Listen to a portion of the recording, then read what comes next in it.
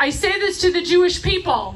We are going through the most important holidays of our life this week. It is Rosh Hashanah, which in Hebrew means the head of the year. That is our that is our Jewish New Year. That is our when we give our when we talk about resolution. What is going to be our next resolution?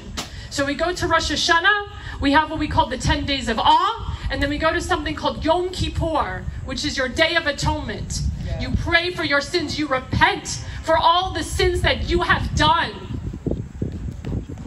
If Jewish people, liberal Jews, are going to synagogue and repenting for their sins, and then they go the next day and support left wing Antifa, aren't they committing the sin again?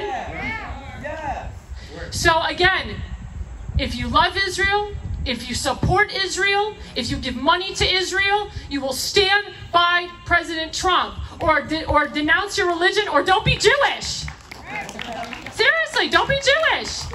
Do not go against your own. I can't stand Jewish people that go against their own. It kills me inside. And these left wing groups are trying to take away our freedom of rights away, just like the Nazi regime did. That's how they took That's right, that's how they took power. And they took the rights away from my family and other families out there. We were, I'm going to educate young people now. We were legal citizens of Europe. We were legal. Legal. We were stripped of our, of our rights by a man named Adolf Hitler and his minions.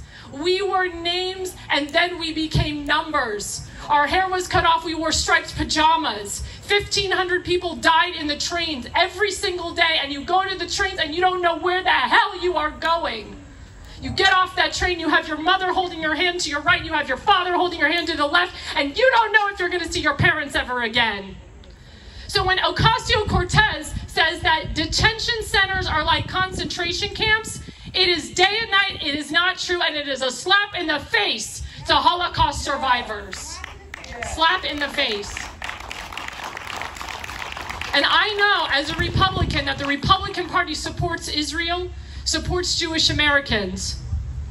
So if you see a Jewish person, if you see a gay, if you see someone who's Democrat, don't write them off. You educate them. You tell them what's up.